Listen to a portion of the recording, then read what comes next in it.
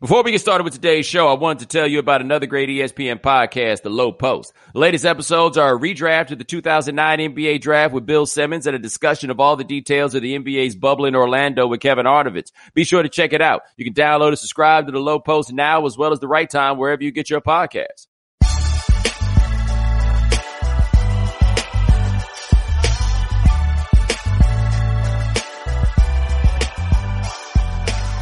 Ladies and gentlemen, welcome to the right time.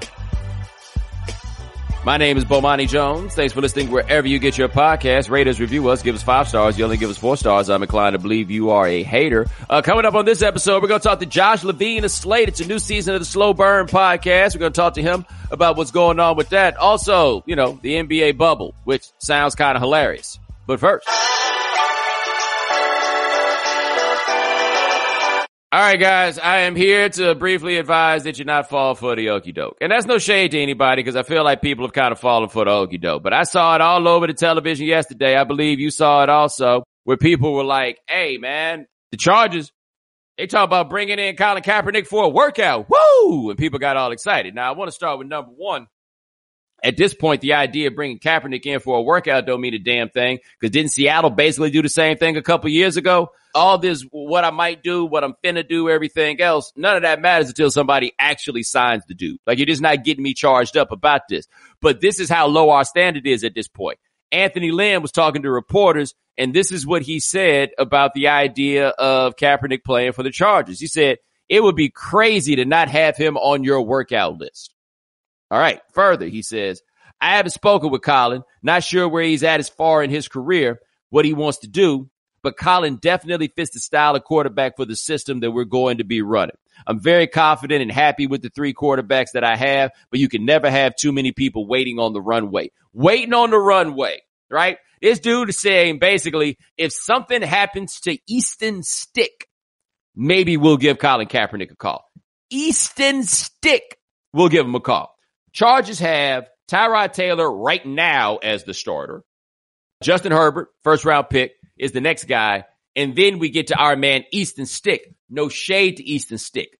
All I'm saying is if the coach is saying if something happens to Easton Stick, we might give Colin Kaepernick a call. That tells me that we're kind of sort of far away. You know what I mean? Like maybe I'm wrong, but that's what it tells me right then and there. Dude, they not gonna do it. Have you seen anything from any owner to indicate that there's any level of bend coming on this, right? Like, have you seen that? Cats ain't gonna budge, right? And here's something that I think is important. If we're talking about the owners and the fact that they're not gonna budge or my belief that they're not gonna budge, it's important to know why. Because when this was all going on in like 2017, when it was really cracking on keeping Kaepernick out of the league, there were two things that people talked about. Number one was the idea that this would be grossly offensive to fans, right? That's their big thing. I still haven't seen any evidence of it. But number two was nobody wanted to draw the ire of the president. Okay. Like that was a huge part of it. And look, if you worked in media or any place that was forward facing and you had a Twitter account, the one thing that you learned in 2017, 2018 thing that scared your bosses as much, if not more than anything else, was the idea that President Trump will tweet about you and now everybody's day is ruined. Now everybody's thing is messed up. Your money gonna get messed up. Stock prices gonna fall. All of this stuff on the basis of Donald Trump sending a tweet. People don't seem to be as worried or as shook about Trump sending a tweet at this point. He don't scare people now the way that he used to scare people. That's worth noting. But on top of that, Listen to what Donald Trump had to say on Wednesday when he was asked about the idea of Colin Kaepernick kneeling. Like, I want to be clear about this. He was asked about kneeling. Let's go. When it comes to sports and kneeling, do you think Colin Kaepernick should get another shot in the NFL? If he deserves it, he should. If he has the playing ability, he was he started off great, and then he didn't end up very great in terms of a, as a player. He he was terrific in his rookie year. I think he was very good in his second year, and then something happened. So uh, his playing wasn't up to snuff. The answer is absolutely I would. As far as kneeling, I would love to see him get another shot, but obviously he has to be able to play well. If he can't play well, I think it would be very unfair. Okay, guys, let's stop and think about what happened there. Like, Donald Trump says that he thinks that Colin Kaepernick should have another chance in the league if he could play. He was asked about kneeling, whether he should come back. And don't forget, guys, Trump is the guy that said that we need to throw all them sons of out of the league. You remember that? Right? Like, wasn't that his thing? That we need to throw all the sons of out of the league just because they were kneeling. Do you notice that he's backed off that rhetoric? Think about this for a second. Donald Trump isn't even banging the drum of how disrespectful kneeling is anymore. He's not doing that. Okay. So the owner's argument behind this, as it's been given to us, has been, Hey man, we don't want to offend Trump and we don't want to offend our fans, right? Right. Like that's the, that, those are the white people that they don't want to make mad. And that's why they don't want to get down with this. Okay, cool. Trump doesn't seem to be bothered and the whole public discussion around all these matters seems to have changed and you're still not hearing about anybody wanting to bring Colin Kaepernick on. What that requires from us as media, if any of you guys ever get a chance to actually ask an owner a question, right? If you're not afraid of the backlash, or if the backlash is not what you thought it was going to be, if we have all these people giving clear indications that the backlash ain't really something that you got to worry about, then why aren't you doing it? We've stripped out all the nonsense, right? We've stripped out all the noise. We have whittled away everything that's around the core issues that are here. And now you can ask yourself, so why doesn't Colin Kaepernick have a job? And why won't somebody seem to give him a job? And for how many of the owners is the reality that I don't like what he had to say? Like that's it. Not about money, right? Not about PR how many of them just didn't like what he had to say? You know? And hey, I do think that some of them might be afraid of their fans. For example, Shad Khan in Jacksonville, right? Don't exactly know how that goes over. And this is worth noting. And I'll put this out here. This is something that, uh, Whitlock reported like 15 years ago or somewhere in there, right? Give him the credit because he's the one who said it. You remember when Byron Leftwich and David Garrard were with the Jaguars? Their whole depth chart was black dudes at quarterback. They had three black dudes at quarterback. Also had a black general manager who was a pioneering quarterback, is worth noting. But anyway, the reason that like I reported they did that was so that the fans wouldn't stay screaming for the white dude that was on the bench.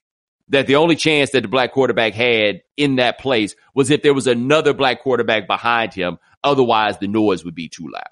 Right. So that's separate from Kaepernick as a political issue. It's just a recognition of how that team seems to think its city is going to react on these matters.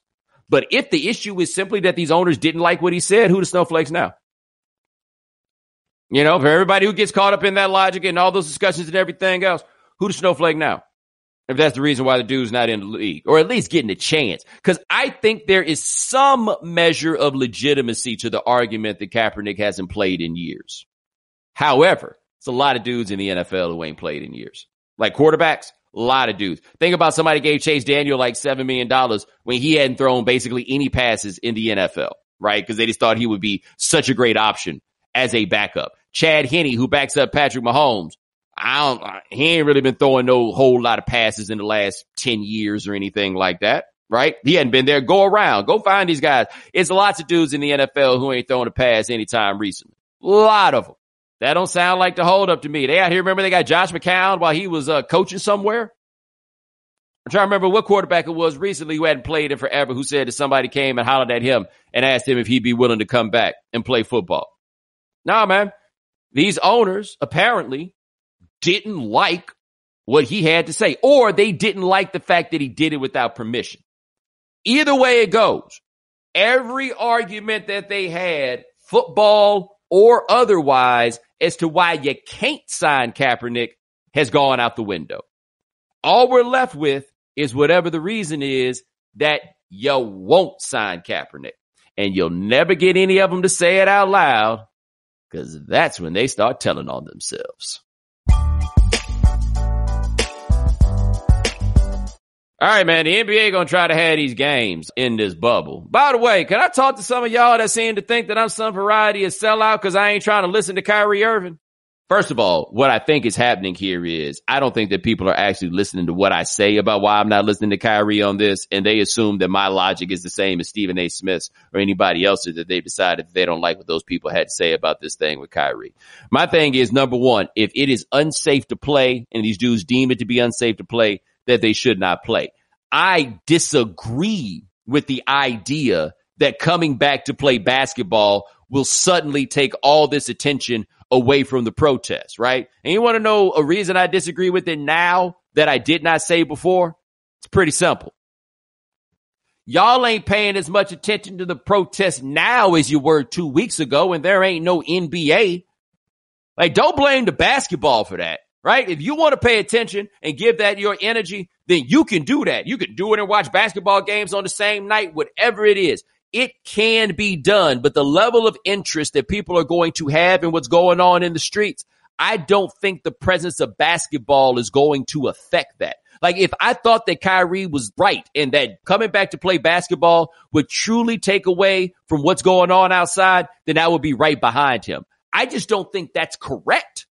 Like if he was correct, I'd be like, yeah, man, make the decision. Y'all gonna lose some money. And by the way, the money part matters. Like a whole lot of y'all out here acting like, man, money don't matter. The whole economic structure of the league is at stake with this. Like I'm not being dramatic. I'm not making that up. That's what it is. So these things have to be very seriously considered.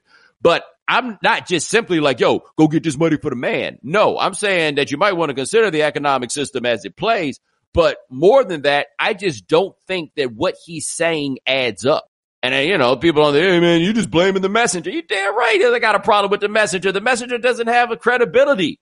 And that's fair for me to say. I would not follow that dude into this, right? So I just want to throw that out there. But anyway, we finding out about what's going to happen with this bubble. And my first point was if it's not safe, I don't blame anybody for not going. And Gabe, this all sounds wild unsafe. Like they sound like they are trying to thread a needle on such a spectacular level. I put it like this. This is one of two things that jumped out. I'm going to say the one thing that jumped out to me out of all the proposals, and I'm going to ask you what jumped out to you because I better know what you're going to say jumped out to you. They say they're going to have ping pong tables in the hotels. They got to find things for all these cats to do. So they're going to have all the decks of cards, right? But you can only use a deck of card once and then you got to throw it out you know, because you don't want to catch it or anything. And I imagine there will be copious sums of money on the table. I would love to see some of these Instagram stories of these cats while they're on lockdown in these fancy hotels. But Gabe, they say they're going to have ping pong tables and you can play singles ping pong, but not doubles. Yeah, you can play basketball with someone and touch the same basketball, but yes. don't stand next to them. Can I ask you this other question? Do you know anybody that plays doubles ping pong that's not a professional? That sounds like something that like kids do in high school. Yes. The only way to get everybody to participate is to play doubles just because it's a mm-hmm. numbers game. Yes. I don't know anybody who owns four paddles. Hell, the boys club got two paddles per table. And one of those paddles is actually a good paddle. That is correct. Yes. But there, nobody's equipped for doubles ping pong. But anyway, yeah, you can play singles, but you cannot play doubles. I just found that to be hilarious. Was there anything else that jumped out about the bubble proposal? Well, what I originally thought was that guests were not going to be allowed on the Worldwide Sports campus, but that's actually not true.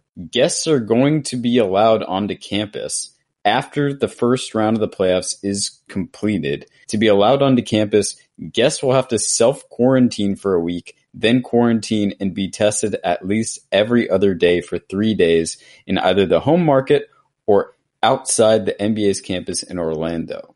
Hmm. Upon entry into the bubble, guests will have to quarantine and be tested every day for four days. Anyone who tests positive must self-isolate. These cats gonna be trying to sneak them in the back door like back when we had uh, visitation restrictions in college. Well, I mean, w- what do you think of the uh, anonymous tip line? There we go. That is the one that's been doing There we the go. There we go. That's what I thought we were gonna get to. The snitch line. Like if they had this when Michael Jordan was playing, how much snitching will Michael Jordan be doing in the name of winning at all costs? Anonymous snitching is the top line of snitching. Who's to be out here? and by the way, I don't blame these cats for snitching. I'd be snitching on anybody that I could snitch on. Absolutely. I am shook, man. I'm out here looking outside. Y'all stop caring. Y'all stop giving a damn. Y'all just like, if I die, I die, right? Like everybody just out here acting like something changed just because it was summer. Nothing changed. Okay. Nothing changed. We are not out of the first wave. That thing's still waving hard as hell. If I saw somebody out here breaking these quarantine rules, you damn right I'm snitching. If for no other reason, cause I'm hating. Right? If I'm staying in here doing what I'm supposed to do, I am going to tell on you. You better believe I'm going to tell on you. Whoever it happens to be. Who gonna be like the, the number one snitch? I can't wait to find out. What if we find out that Kawhi is a snitch? I wish we could get tapes of those calls. LeBron will snitch. What about um Pelinka? yeah. Well, hold on, hold on, hold on. Let's throw another level. Who's gonna be the guy to snitch on somebody on his own team because he just don't like them? Whether or not a player matters to like the will of a championship. Yes. Someone that can be sacrificed. Would you snitch on your own teammate to get out of something? Yeah. Self report. Yo, there was a party over in the uh, yacht club and uh, it wasn't me. It wasn't me. I promise. it was uh, my two teammates, and they had these girls there. Wasn't me. I promise.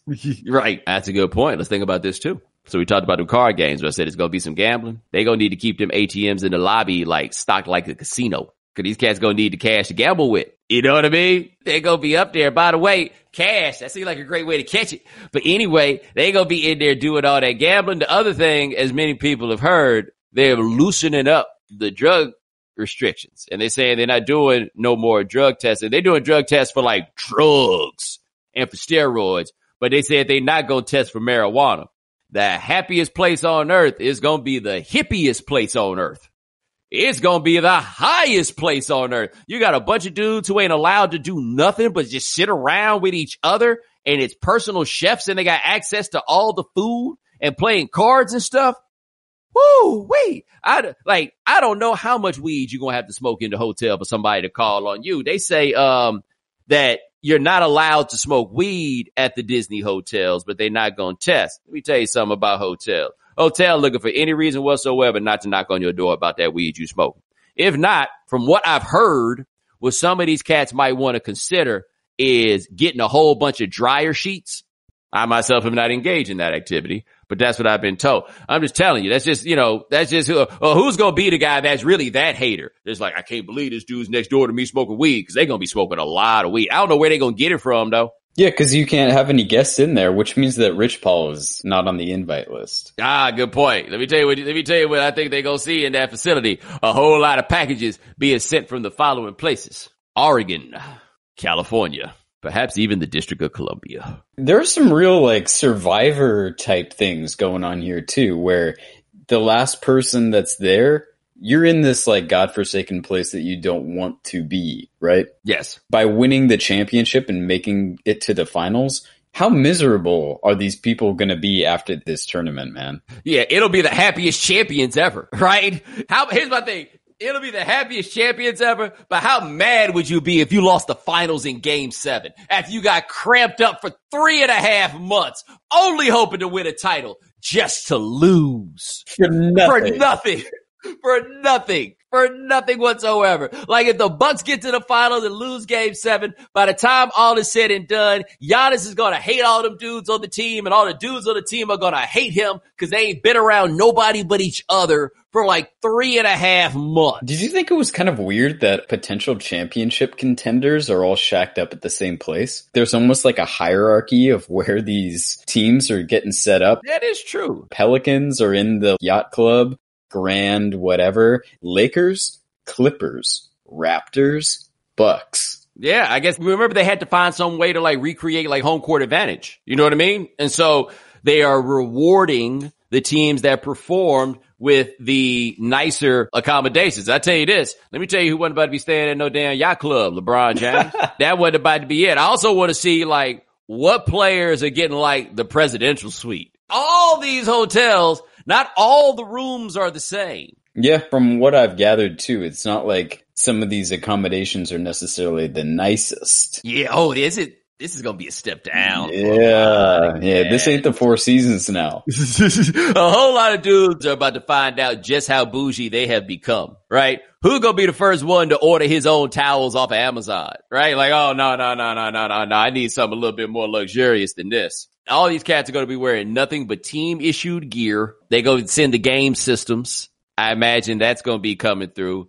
It's gonna be whack. Ain't none of them gonna have a good stereo. Well, who's gonna be the person that listens to a stereo too loud, right? Up late at night, bumping his music too loud. Like it's a dorm. You got a family man in one suite. Yes. Well, another thing too that's a little weird is to your point about the dorm environment. A lot of these players, when they're done at work, they go home. That's private right? Yes. They're going back to a time in their lives when very little is private because you're in close yes. quarters with everybody. So imagine all of the different little routines and stuff that people like LeBron do in the privacy and sanctity of their own homes that are going to be on Front Street now. Yes, yes, yes, yes. And yo, man, let's be honest about this. Everybody needs to know this, all right? These cats live different social lives, shall we say than the rest of us. Would you like to hear a story? This will give you the best indicator that you need about how different these guys' social lives are. Okay. True story. Won't tell you the player, won't tell you the location. But a friend of mine was walking with an NBA All Star after some like charity event or something like that. And he's walking with him, and that All Star is about to get in a cab and go to his hotel. And as he's about to get in a cab to go to his hotel, these three women pull up in a car and one rolls down the window and says, Hey, want to have a foursome? At which point that all star thought about it, shrugged his shoulders and said, all right, and then went. This was not an exciting thing to find out, right? This was not his lucky day. This is the kind of that comes up all the time in his life. And that dude's going to be stuck in a hotel with a bunch of his partners, perhaps for three months with no visitors. It's going to be a lot of dudes doing push ups in these hotels. It's going to be a bunch of dudes ripping phone books in half. A bunch. A lot. Cause the lives that they live are totally different than the lives that most of us live. Totally different. It's probably been hard enough as it is, but totally, totally, totally different. Those scenarios aren't going to be popping up the same way. I also want to say something right fast because I've seen some people bring this up. I saw somebody mention once on the tweets and they were like, yo, man, well, what's going to happen if people start protesting, you know, at Disney, right? People start showing up to the gates at Disney to protest. Let me tell you what's going to happen if that happens. Some people are going to suffer very sad fates at the happiest place on earth, right? Now, as you may know, I work for Disney. I don't even think about it that way, just to be clear, but that feels like a full disclosure. This is the only thing that you need to remember about Disney World. And Gabe, I don't know if you know this. Did you know that there is a no fly zone over Disney? Yes, I'm familiar with that. It has long ago been decided that it ain't gonna be no ruckus at the happiest place on earth. Right? That call was made a long, long time ago. That ain't happening at the happiest place on earth. Ain't go, that's gonna be the safest place on earth. Ain't nobody getting into that bad boy. Nobody at all. It's just gonna be a bunch of grumpy NBA players who by the end of this if it don't work out for you in the league, maybe you can make the Olympic ping pong team, right? Maybe that, maybe that's what some of these cats, like the, the 13th, 14th man, start thinking about your next career. Get your Forrest Gump on. You, you can, you can meet, uh, the president. You can go to, you can go to China. All of that stuff. Just don't bring Daryl Morey with you. They don't like him. All right. It is that time of week where we bring on a guest joining us now. He's doing the Slow Burn podcast with Slate. Last year we had Joel Anderson on and Slow Burn was about Biggie and Tupac. This season is about the political rise of David Duke, who I'm sure a few of you have heard of. And joining us now is the host of this season is Josh Levin of Slate. Josh, how are you? I'm good. Thanks for having me. No, man, it is great to have you. So first, why David Duke this season? I grew up in New Orleans. I was born in 1980. And so Duke's political rise in the late 80s and early 90s is a huge thing in my childhood. It's like I don't have a photographic memory. I'm not that kind of person, but I do still have this strong kind of sense memory of that period, of the feeling of kind of dread and confusion around Duke, of seeing the signs everywhere. And it's been something that's stuck with me for my whole life. And uh, I just have always wanted to go back and try to understand what happened during those years. Well, also imagine like in that time being from New Orleans and being Jewish, which I think for a lot of us seems like almost a counterintuitive existence, and then a real live like Nazi basically is now running for governor. At the time, I imagine that for your life and the people around you, it's like, whoa, wait a minute, what? Yeah, I mean, I think as a white person in America, especially coming up in like a pretty well to do background, you can feel like politics doesn't matter as a kid. You can be like pretty naive about things. And this was a way, I think, that naivete got stripped away, like understanding that these elections could have serious consequences for the state and the people who live there, including my family. And also just wondering, you know, as a Jewish person in a place where there aren't that many Jewish people, just feeling like, do I actually belong here? Is this really my home? Do people here want me to be here? And so, yeah, I mean, all that stuff was kind of in the air. Now, one thing, you know, of course, the name of this is Slow Burn, and I think a thing with Duke that, you know, I'm three episodes into it now. I went ahead and got the uh, Slate Plus uh, subscription so I thank could get you, the third you. episode as quickly as I possibly could. But it's certainly an appropriate title for dealing with Duke because I think that, at least for me, I remember when Duke popped up in the late 80s and early 90s. I'm the same age as you, and it just kind of seems like, oh my gosh, this Klansman just popped up out of nowhere. But in reality, this had been building basically since he was at LSU in the 70s. Yeah, so he was an egomaniac and he thought he was destined to be president. So just like getting in the runoff for the Louisiana governor's race was kind of a come down for him. But he was running for office as far back as the 1970s when he was a Klansman.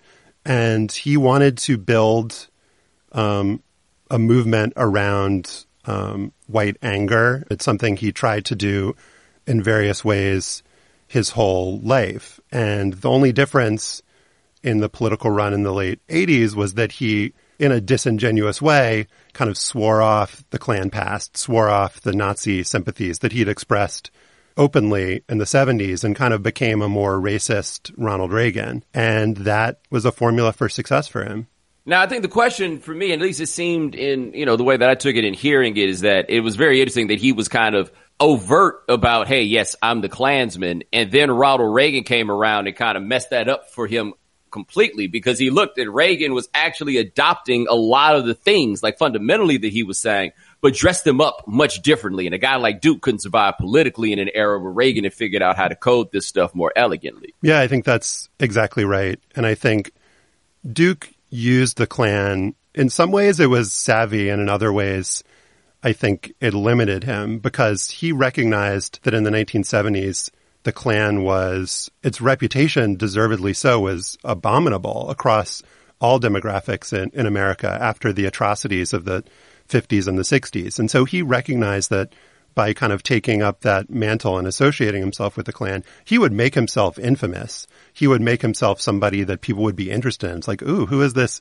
young guy in a suit who's saying he's a Klansman? We've got to interview this guy. But that also just put a ceiling on his possibilities. You know, the number of people that would go to a Klan rally, you know, even in the most racist parts of the, the country, there, there's a ceiling on that. You're not going to, even people who might sympathize with his views and his vision, they're kind of smart enough to know that if you're like a middle class professional, you know, it's probably best not to be seen at an event like that. And so, you know, by the time that Duke recognized that and tried to shift, I think he still had this association and this connection that, you know, would make people suspicious of him and rightly so, you know, forever. And correct me if I'm wrong, didn't he kind of sort of like just kind of start up his own chapter of the Klan? Like it wasn't like fully attached to the Klan Klan? Yeah, I mean, it feels a little weird to criticize him and be like, you know, he wasn't a real, he wasn't a real authentic Klansman. I mean, there is a bite in the show in episode two where he has this debate with Jesse Jackson, and Jackson's final kind of kiss off at the end is like, "You're not even a legitimate Klansman." Um, but Duke starts his own chapter, Knights of the Ku Klux Klan, in 1973, and I think that's a thing that I didn't know until I started researching this, and I think a lot of people don't know. Is that like when you say that Duke was the Grand Wizard or Grand Dragon of the KKK. He just made that up.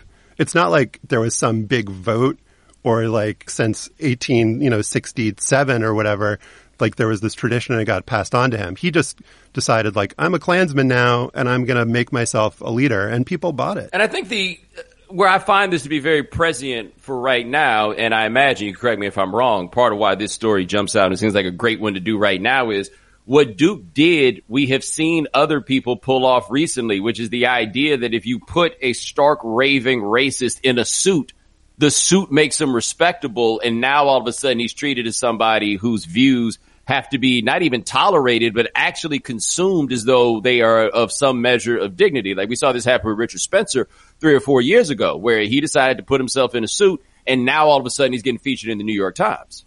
Yeah, for sure. I mean, you could see that in the 70s when Duke was actually in the Klan, where, you know, his first national um, platform was on The Tomorrow Show with Tom Snyder in 1974 when Duke was still at LSU. And this was a show that um, was like on at 1 a.m. on the East Coast and really wanted to be edgy they're booking guests who they think will get attention. And so, yeah, it's like Klansman in a suit. Let's give him a plane ticket to, you know, to, to come out to, to our set and we'll uh, have him on. And that gives Duke a platform of, you know, audience of 3 million people to air his views. But I think you also saw it in the late 80s and, and early 90s. You know, he was not only wearing a suit when he was out campaigning in Louisiana, but when he wins the state rep race in the all white New Orleans suburbs, he actually not only does he have the suit then, he has a platform of being an elected official. And so then, you know, based on uh, the norms of our media, when somebody's a, a politician, then you kind of treat them in a, in a certain way. You put the like Republican Louisiana in parentheses behind their name. They it conferred a kind of legitimacy on him that um, you know gave him the standing that he needed to run for higher office.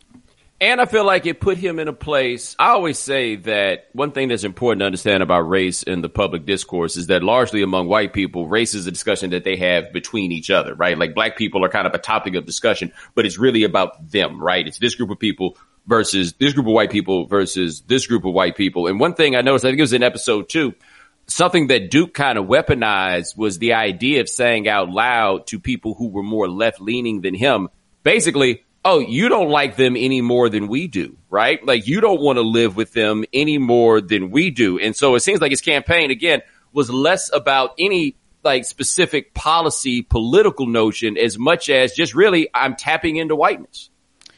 For sure. And the guy that he ran against in 89 that he beat um, was John Treen, who had been in the segregationist states' rights party back in the day. And what Duke said was, and I think this was really powerful for the people that voted for him, like, this guy doesn't believe anything any different than I do. You know, him saying that he has changed his stripes, that's no no different than what I'm saying. The only difference is that I'm being honest with you about what I believe. Whereas this guy is saying the same things that I'm saying behind closed doors. And so Duke was trying to make an argument about authenticity and that I'm being real and all these other people are fake. And I think he tried to normalize racism in that way. Like, uh, like, come on, white people. We all are talking about all this stuff. Like, I'm just, you know, the, the one who's open about it and admits it. And I think for people who were openly racist or people who maybe were kind of inching in that direction, I think he, he made them feel safe and comfortable in their viewpoints. And I think he started with this message that he thought would work, but you know, you need affirmation whenever you, basically he's no, uh, politicians are no different than people who like create content or whatever, right? Like you think you've got a good idea, but you have some moment that turns it over. You're like, oh man, I think this thing is really catching on. And I found it interesting that for Duke, it was a trip to Boston. Yeah. So he goes to Boston in 1974 as the busing crisis is really getting underway. Um, you know, the first day of school in Boston, uh, South Boston, September 1974, there's, you know, white adults and children engage in mob violence against black students who are being bused there and integrating the schools. And Duke, sensing, you know, racial conflict, he's like, I'm going to be on the next plane from Baton Rouge. He goes up there and says the people in South Boston are American heroes. This is the new American revolution. You know, the government is forcing this integration and integration is bad. We should be separate. And the reception that he gets there, he doesn't get any kind of attention from the media, doesn't get attention from public officials. But there is this kind of grassroots response to him in South Boston that just like, again, this guy is saying what we believe. And they're kind of like egging each other on. The crowd egging Duke on to say racial slurs. Um, him standing up on a car and proclaiming white victory. I mean, it's a it's a kind of terrifying scene to think about. And I also wonder with him, and this wasn't really so explicitly stated, but it's something that I talk about all the time, which is I always say that any state in America, if you make it 40% black, it'll start looking like Mississippi real fast, right? Like that is kind of the driving factor in this. And people have this assumption about the South as being kind of uh, South, the South as more racist than other places in the country. When I think in reality, the South just has a different threat because of the demographics and the population numbers. But I always wonder with Duke, for him to get out of the South and realize that it was resonating in that same way. That had to be the moment that just unlocked something for him. I think that's right. And I think in the late 80s, there was this debate about whether Duke was a creature of Louisiana or whether this could happen anywhere. The novelist Walker Percy actually had a good quote about this um, in an interview, and I think it was June 1989, where he said, you know, the people outside Louisiana like to think we're all like rednecks and yahoos down here, but this could happen in Chicago. This could happen in Queens. And I think that, you know, people like to look down on you know, whether it's Louisiana or Mississippi, and rightly so in a lot of ways. But it's no accident that, you know, there are lots of examples of, you know, like Martin Luther King going to Chicago and saying he never witnessed more resistance than he did when, um, you know, marching for housing there, or, you know, what saw in Boston during the, the busing crisis. And, and Duke was received very, very well there. Yeah, like that was, and, and I try to be careful about this because Boston is so easy to pick on, right? Like Boston sure. is the Mississippi of the North. Like when it's time to talk about somebody being racist, we just throw it out to Boston. But that scene that you described in Boston was like, oh my goodness, what's really going on? Well, even the Red Sox now are saying that Boston is racist. So I think it's gotten, uh, gotten, affirma- gotten affirmation from the highest levels of Massachusetts royalty. Yeah, they didn't trust it when the spotlight team said it, right? like I was, I was so amazed that the spotlight team was like, fine, guys, we'll look into this and see what we can come back with. And they came back with everything everybody has been saying about us is correct. Yeah. I saw that you tweeted out, uh, Bomani, just uh, about some of the, the stats from uh, the 90 Senate race and the 91 governor's race. And the thing that's so interesting to me conceptually and how to just looking back and thinking about how to feel about the Duke phenomenon. So in 90, when he loses um, that Senate race, he had 44% of the vote, gets 60% of the white vote in Louisiana. And the governor's race, he loses in a landslide to Edwin Edwards, but 55% of the white vote. How do you think about those numbers? I think about those numbers, and I mean, it's worth noting Trump got the majority of white voters of every demographic in America basically, right? At every turn. Now, part of that's in line with the fact that Republicans get the majority of white votes in just about every election that you wind up having. But 60% of the white vote in Louisiana was kind of staggering when you looked at it. Now, of course, part of Southern voting behavior just basically has to do with white people voting against integration, right? Like it's a long continued history of like, for black populations in the South to be as large as they are and those states to still be red means all the white people are voting in the same direction. So as disturbing as kind as it is, the idea that David Duke could win 55% of the white vote in one of those elections, it's also kind of interesting that 45% of people were just like, oh, hold on now.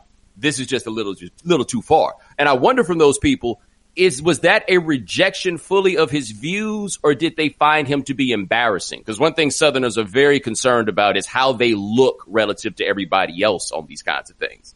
In the governor's race, there was definitely some of the latter, and, a, and an appeal that was really effective was from the business community that said it's going to be catastrophic. Like we're going to lose convention business in New Orleans. We're going to lose tourism. You had people like Bobby Hebert the Saints quarterback then cutting an ad, not calling out Duke specifically, but saying, you know, there's some cheesy line in there about like, you know, the black and gold and black and white need to come together to stop racism. And, and there was this consensus among sort of elite business leaders in the state that like we need to come out really strongly against this guy. So I don't know if that particular economic argument worked or it was the embarrassment thing, but I think it wasn't all necessarily just a repudiation of his views. There was some kind of calculation there of this is what the effect's going to be. This is how it's going to make us look. I wonder how it would have gone if he won, right? Because I think that there were a lot of people who felt very similarly um, about Trump. And I'm not making a direct parallel between those two guys before somebody said, Bomani said Trump and the Klan. No, I'm not saying that directly, right?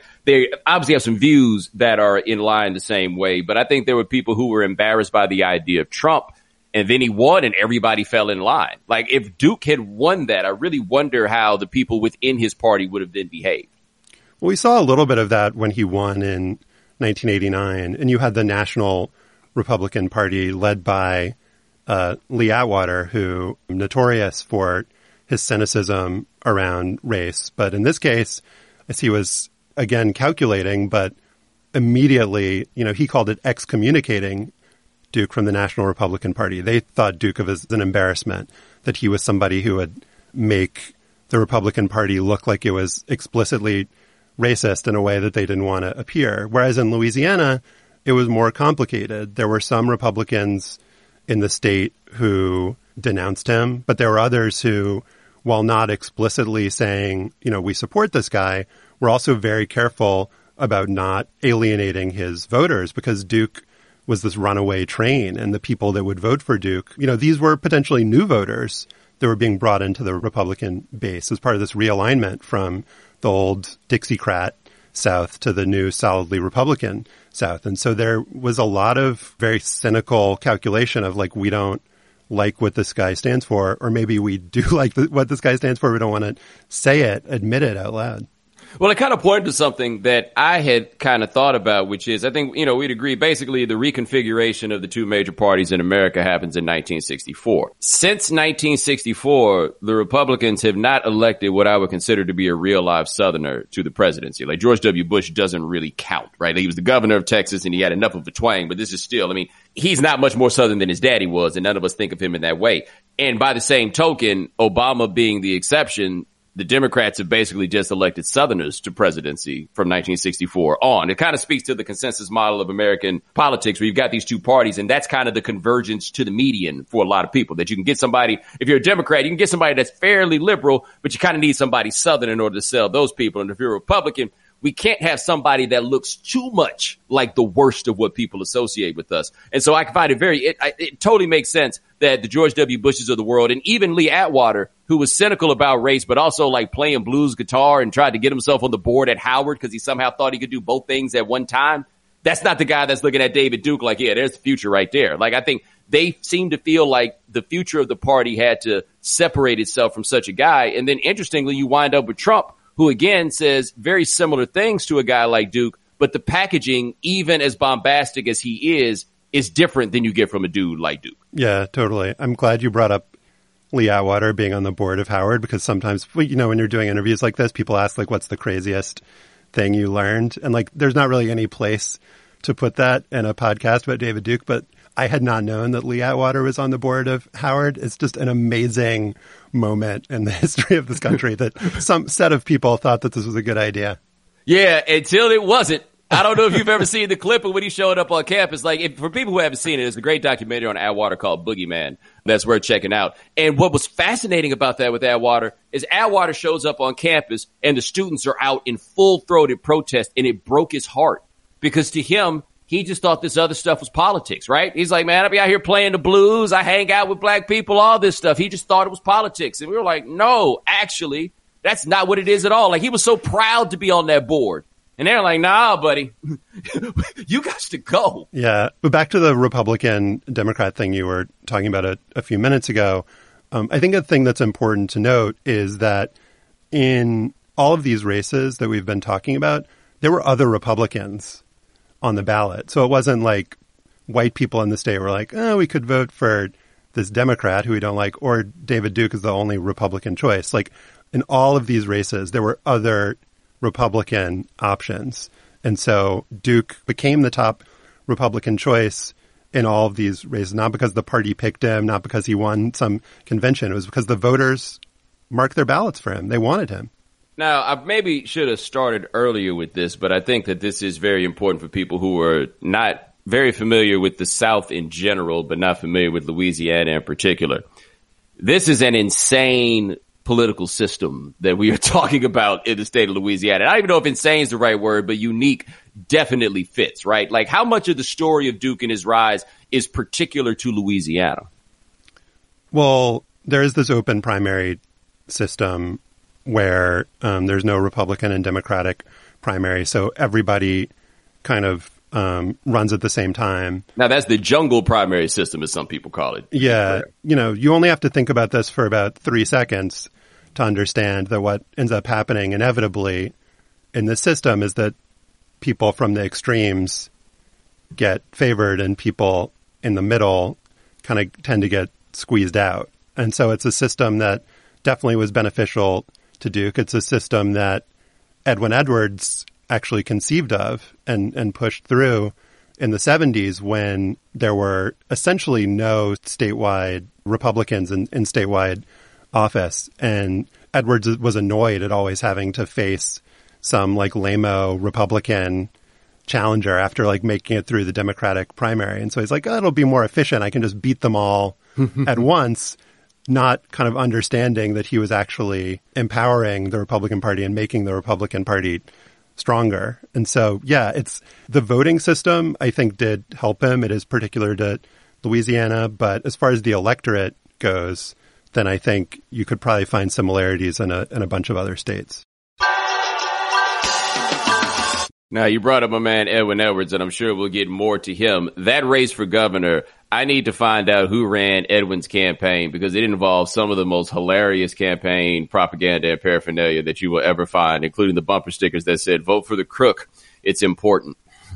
We will get uh, in the in the podcast later episode to where vote for the crook came from, but we're still working on it on the remaining episodes. But you brought it up, every person that we interview, no matter what we're talking to them about, no matter who they are, what kind of aspect of all of this they're involved in, has said, you remember that slogan from 1991? Vote for the crook. It's important. It is one of the most memorable and effective and evocative slogans, I think, in American political history. Well, I mean, have there been two people to run against each other who were more self-aware about what exactly it was that they were doing? Uh, I th- I think it would be hard to find another twosome like them. I mean, they were both really into gambling. Edwards, you know, known for his one-liners, talked about how they were both wizards uh, underneath the sheets. So, you know, there are a lot of differences, some uh, maybe superficial similarities, but it's I think easy to understand if you can think back like why the runoff between them in November 1991 would become this huge national story and international and national media would descend on Louisiana because you not only have the possibility of the Klan guy becoming governor of Louisiana, you also just have Edwards as one of the most memorable characters in American politics. Now, in your research, what do you think is probably like the most surprising thing that you stumbled upon? Other than Lee Atwater at uh, at Howard, yes, I guess I wasn't as aware of the connections between Duke and Nazism. And it probably wouldn't be a surprise, but I think it's still interesting to note that, you know, what polling found is that connecting Duke with the Klan was not like a real winning issue for Duke's opponents. Because if you're asking uh, white voters to say, like, you can't vote for somebody who's in the Klan, you're saying, like, are you asking me to disavow my father? Are you asking me to disavow my uncle? I mean, like, there's a lot of connections to the Klan for a lot of people, but the Nazi stuff was seen as beyond the pale. Um, and so Duke, would, you know, somebody who was an inveterate fabulist would try to pretend like, you know, he hadn't worn a swastika, that he hadn't been um, associated with and connected to the American Nazi Party. And, you know, I didn't know a thing that I learned from Eli Saslow's book, which is that the first time that Duke went to a convention, like a Nazi conference, basically in Virginia. The people that the Nazi group connected him with for a carpool were Don Black, who would later found Stormfront, the biggest racist website um, in America, and this guy Joseph Paul Franklin, who would become a serial killer, who shot and killed interracial couples, who shot Larry Flynt, who shot Vernon Jordan. And so these connections and how many of them there were, and, you know, contrasting that with Duke's later, like, disavowals, that was something that was pretty stark to me. Well, how complicit is the media in this? And I say that because, uh, you know, the media's had this dilemma about what to do with Donald Trump when he says things that are not true or says things that are irresponsible, you know, whether or not you should put them on television or broadcast them simply because he's the president of the United States. And it sounds like a lot of people were just putting David Duke on TV, like you said, because it was a Klansman in a suit without thinking a little deeper about that. Yeah, I think that Tom Snyder is a really good example of the arrogance of a lot of media around these issues because I think there can be a conflation where people think that, oh, because somebody's views are so wrong and so evil, that means that we can beat them in a debate. When that person's been thinking about this stuff and preparing for their entire life, and maybe you, as Tom Snyder, like the day before you interviewed, um, you know, I I mentioned that like one guest he had on was like a blind man who is a pornography censor. I mean, like this guy was not prepared to deal with David Duke. And so I think a lesson there is that if you choose to give somebody like this a platform, you need to know what you're doing. You need to understand the gravity of that and you need to be prepared. And I think there are some instances of, of media who were prepared for Duke um, and who treated him a lot differently than than Snyder did. Um, and so I, I, think he was a creation of the media, certainly in the 70s. And I think it's a harder question, the debates that emerged in the late 80s and early 90s about like, if we cover this guy, are we giving him oxygen? Or is he just a really big threat and it would be irresponsible of us not to dig in on him and, and do a lot of reporting? All right, all right, fast. I almost missed this. We have some audio um, from this and a bit of a sports tie-in. Uh, this is Collis Temple Jr., who is his son. Garrett Temple plays in the NBA, plays for the Nets, but uh, he was the first black player at LSU in basketball, which did not happen until 1971. That was surprising for me to find out um, in looking it up. And so I wanted you guys to hear Collis Temple Jr. talking about his David Duke experience. Collis was 17 years old when he moved into the athletes' dormitory. He lived with more than a hundred young white men. There were tense times when I was around these guys because they weren't feeling comfortable with me. And I knew that the majority of the guys weren't necessarily interested in me being there. Some of my social outlet, candidly, in terms of who I communicated with the most, were actually people who cleaned up the dorm that I lived in, the janitors, and the people who cooked. Temple also spent time hanging out with other black undergrads at LSU's student union. To get there, he had to walk past a campus hotspot. Free Speech Alley was just a, an identifiable area where people just got up and expressed how they felt. And people talked about some of everything, all the social ills throughout this country. Students at Free Speech Alley spouted off about the dress code at LSU, which forbade women from wearing pants. They got fired up about President Nixon and the Vietnam War, and they argued about civil rights. There was one student, David Duke, who was always shouting about the dangers of integration. He'd be out there talking about why Jews and should not be a part of our society. That's basically what it came down to. And Would he, you stop and listen? I'd stop and listen and I'd yell and tell him he was full of Yeah, that's a lot. Yeah. And I was really glad to be able to feature Collis Temple Jr., who's a really incredible guy and somebody whose life story and his story at LSU kind of exposes just by juxtaposition, you know, the absurdity of Duke's claim that it was white people who were the ones who were really being discriminated against, when you look at them next to each other, you can see how absurd that is. All right, now last thing I want to ask you while we got you, and I'm going. This is going to be very difficult to do. I understand, but I want you to give it the old college try. Can you try to describe our man Harry Lee in one sentence? I'll give you two. Very powerful Chinese American sheriff who claimed he couldn't be racist because he was Chinese. A right wing sheriff, and by the way, leans in on the notion of the sheriff is the most powerful man anywhere that there is. Like I had never heard anybody talk about himself being law and order in the way that Harry Lee talked about it here. A guy who financed a Mardi Gras float that had uh, the design was his own face and would go on the float every Mardi Gras and throw dolls of himself to the adoring crowd.